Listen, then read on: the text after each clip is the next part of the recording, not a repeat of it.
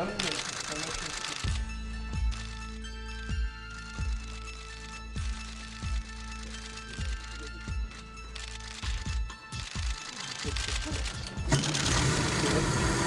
полный газ, потому что мы поднимаемся в гору, полностью газ, полностью до конца. И главное отпускать стекло. Нормально. Теперь везде выравниваемся по дороге. Вот. Это на основе КАМАЗ-43-114, короче, разработка. И, Можно делать хорошие тренажеры и игрушки. да, и роботов, соответственно. Я думаю. Да, надеемся, что это будет первый российский робот, который применен КАМАЗа. В России будет создано единое транспортно-логистическое пространство. Электронная система поможет снизить издержки на перевозку грузов. Основанием для нее будет платформа «Платон». А Откуда получают средства вот это совместное предприятие между Ростехнологиями и э, м, вот фирмой, которые представляют частные лица? Они получают эти деньги из бюджета напрямую. По-моему, там сумма где-то 10 миллиардов. На что? На ремонт этой э, системы, на поддержание ее в работоспособном состоянии, на развитие. Но что это значит, что они получают деньги из бюджета? Это значит, что все может быть проверено, в том числе и общественностью, и счетной палатой, что чрезвычайно важно. Если кто-то считает, что эти расценки на содержание, на развитие завышены, пусть посчитают и предъявят. И это будет правильно, посчитать и предъявить. Но Это можно сделать. Деньги, доходы от Платона, от этого так называемого, компании, в которой находятся частные инвесторы и э, Ростехнологии, они туда не поступают. Я хочу, чтобы это было услышано. Я, если возможно, вернусь с небес на землю. А, Вы не можете не быть в курсе, что дальнобойщики протестуют уже которую неделю в связи с введением нового сбора, да, называется «Платон» за проезд фур по федеральным а, трассам. И на взгляд со стороны, ну, овчинка не стоит выделки, то есть не, не так существенны доходы от этого, внедрения этого сбора по сравнению с э, забастовками, митингами, стоящими фурами и так далее. И есть представление, что, возможно, была совершена ошибка. Вопрос на какой стадии? На стадии планирования, неверная сама идея, на стадии реализации, ошиблись с разъяснением, с внедрением самим. Или у нас, в принципе, население, ну, в, дальнем, в данном случае водители, а, не готовы принимать непопулярные меры правительства. Э, Миш, но э, ситуация заключается в том, что не все дальнобойщики бастуют. 700 тысяч дальнобойщиков зарегистрировалось в системе платежей. Это абсолютная подавляющая часть тех, кто выполняет международные, междугородные перевозки. Не зарегистрировалась часть по разным причинам. Когда мы обсуждали эту меру, а она, кстати, обсуждалась с 2011 года, было понятно, что часть перевозок выполняется в серую незарегистрированными перевозчиками. И неизвестно, что они возят.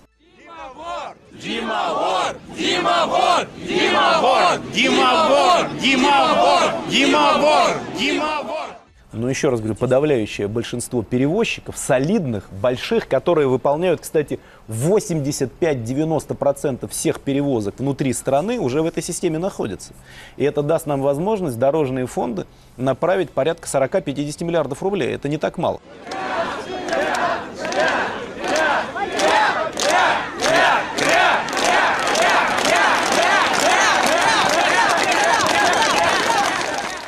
Ну, потому что страна огромная, и все равно больше надо гораздо. Кто платит эти деньги? Абсолютно в большинстве случаев это водители, которые сидят за а, своими частными автомобилями. Водители легкового автотранспорта. А вот те, кто реально воздействует на дорогу, водители крупных грузовиков, э, крупнотоннажного транспорта, не платят практически ничего. Транспортный налог платим, молчим. Акциз платим, он тоже является транспортным налогом, правильно? А, и здесь еще один нам транспортный налог навязывают, навязывают. И говорят конкретно, платите, ребята, и молчите. А мы вас показывать и не будем. А где нас на официальных каналах? Все, которые по стране. Не показывают же. В Литве повесился российский дальнобойщик, который стоял в огромной очереди на паром. Джессика пыталась объяснить, что развлекаться с дальнобойщиками за деньги для нее подработка. В светлое время суток она работает парикмахером. В России почти на 40% увеличилось количество ДТП с участием дальнобойщиков-частников. Такие данные приводит экспертный центр движения безопасности. Сегодня все началось с Дальнего Востока, а потом, как по цепочке, в каждом часовом поясе водители стали выезжать не на коммерческие маршруты, а к местам забастовки. Большинство протестов не согласованы с властями. Там, где разрешение все-таки дали, как в Екатеринбурге, все под присмотром полиции и без репортеров. Зато участников акции снимают полицейские. Так, например, было в Липецке. Дальнобойщики пока не знают для чего. Первая версия, чтобы потом наказывать активистов. Вот э, на сегодняшний момент прошли, сфотографировали, значит, номера, и мы не знаем на самом деле, что нас ожидает в будущем. То ли нас могут э, отобрать эту технику, или, ну, то есть э, бразды правления, конечно, у власти, что они э, захотят, то они и сделают с нами. С женой лидера общероссийского протеста дальнобойщиков Андрея Бажутина Натальей. Мы встречаемся рано утром возле нотариальной конторы. Офисы еще закрыты, но женщина специально пришла раньше. Она на седьмом месяце беременности. Есть осложнение. В любую минуту ее могут забрать в роддом. И до этого Наталье надо успеть юридически доверить своих несовершеннолетних детей их старшему брату. Это требование органов опеки. Иначе уже они могут забрать Олесю, Никиту и Максима. Я им задала наводящие вопросы, почему не может быть опекунами сын, почему не может быть опекунами мама. Они сказали, что без доверенности они даже с ними погулять не могут выйти, мне вот так сказали. Нотариус не помог Бажутиным, он не может выдать такой документ, не его полномочия. Нам сразу же сходу сказали, что таких доверенностей не выписывают, на опекунство доверенности вообще не бывает, что этим должен заниматься отдел опеки, и что отдел опеки, когда пришел к нам, они должны были в первую очередь э, записать бабушку и сына и как бы дать им опеку.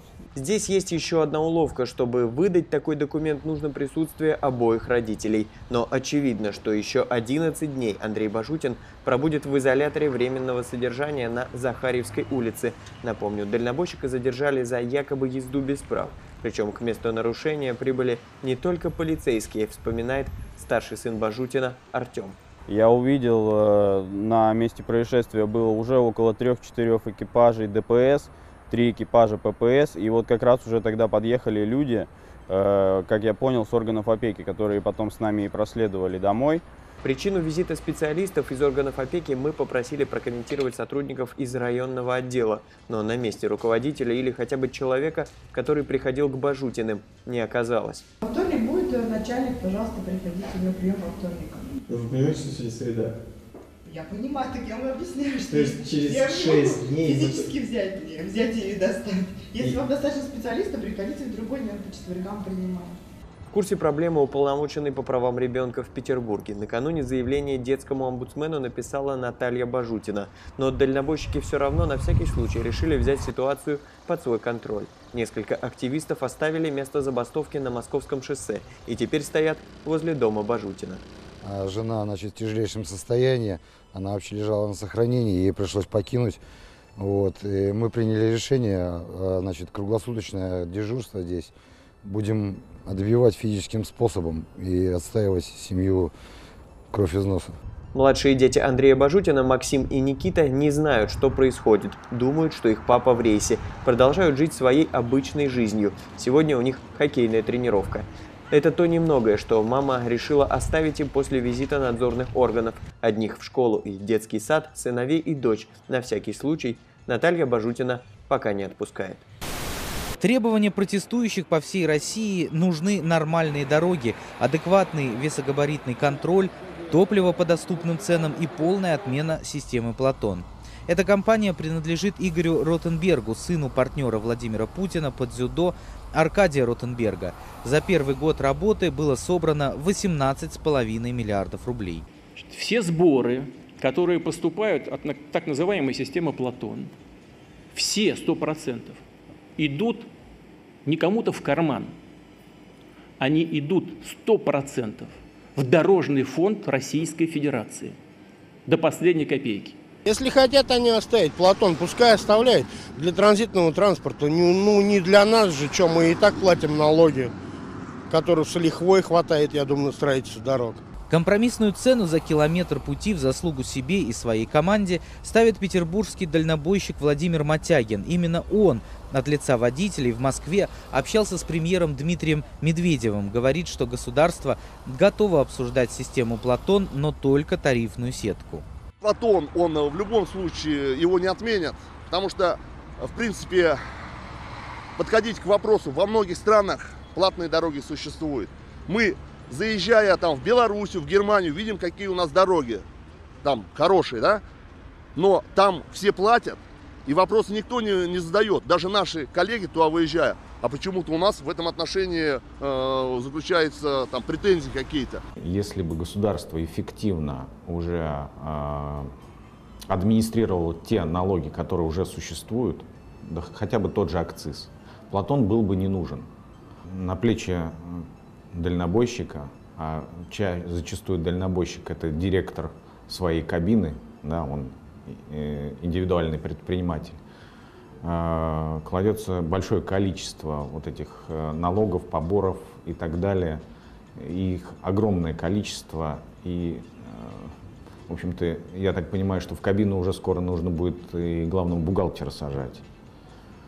Это становится невыносимо. В МИАСе, со слов Николая Матвеева, это подразделение ПВП в МИАСе, загнанные в долги дальнобойщики вынуждены были покончить жизнь самоубийством, повесились, потому что не смогли отдать кредиты или лизинг за свои автомобили. Да я не могу себе позволить пойти в депутаты, я там улучшил. Максимум год я там выдержу, такая нагрузка бешеная, понимаете? Нифига себе, это что же тяжело. Audi A8, Q7, сесть на заднее сиденье и ехать в этом комфортабельном автомобиле. Да это что же тяжело, девушка. Так или нет, тебя постоянно качает, укачивает. Это ж как сложно, ема, вот это все перенести. А здесь нормально, тут тонус на наших российских шикарных дорогах. То в одну яму, то в другую. Тебе не дают расслабляться, ты всегда в тонусе. Получается как? Все правительство делает для нас, чтобы мы молодели. А они-то, видите, они хереют на этих депутатских креслах с каждым днем. Поэтому, как бы, получается, правительство молодцы, заботится о нас, чтобы мы поддерживали спортивный образ жизни и так далее и тому подобное. Чтобы... А то все говорят у нас болезни, геморрой у водителей. На этих дорогах не может быть геморроя, потому что подлетаешь так, и там геморрой сам думает, да пошли бы вы нафиг, я пойду к другому товарищу принципе, народ обнищал настолько, что я когда своим, значит, всем соседям сказал о предстоящей стачке и попросил, сделайте, пожалуйста, по возможности запасы, а народ не может сделать эти запасы. У них нет даже денег, чтобы какие-то запасы. Денег буквально только на то, чтобы два раза сходить в магазин. Выбор нормальный, да, только вопрос в ценах. Дорого, нет? Что скажешь? Дороже стало, нет? Да, смотря какие производители. Наши, Бобров, ну, вот, то есть Воронежская не, не, область ваши, мало ваши, цены подняла.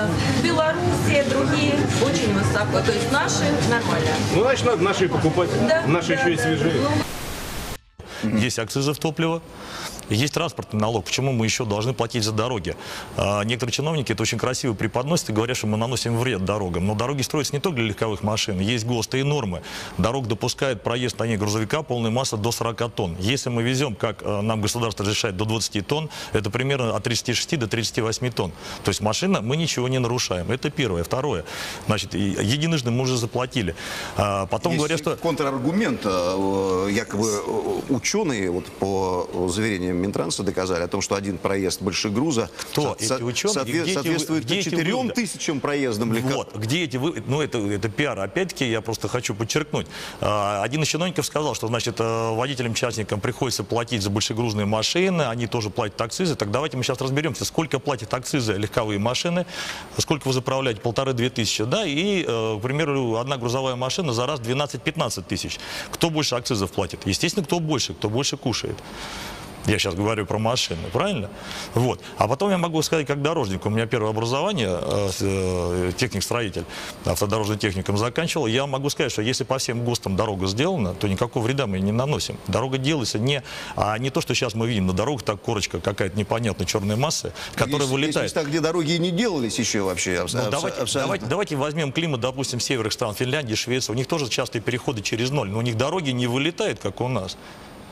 Или возьмем Турцию, у них дороги не плавятся, у них за 50 градусов, как у нас в Да, Краснодаре. Росавтодор не сможет, э, собственно говоря, внедрять уникальные системы там, учета, постоянно работать и получать какой-то бюджет. А Он один щас- раз выполнит работу, это же будет А сколько потом сейчас давайте по технической точке вот это вот. Ну, ну, допустим, если даже это и хотят внедрить, допустим, есть опыт там той же самой Германии. В течение двух лет они тестировали эту систему. У нас протестировали систему единожды, когда мы были в Госдуме, э, обсуждали это за круглым столом, были представители Платона, и они четко доложили, мы протестировали на двух машинах на отрезке, причем Москва-Тверь.